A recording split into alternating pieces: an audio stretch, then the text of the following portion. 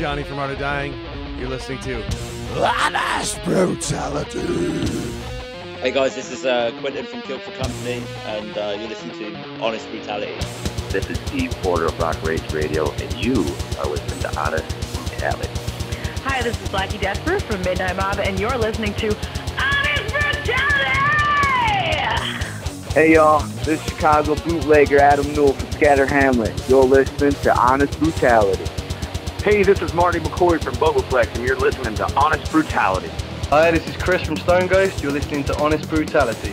Stay metal. Hi, this is Raphael from Black and Hate, and you're listening to Honest Brutality.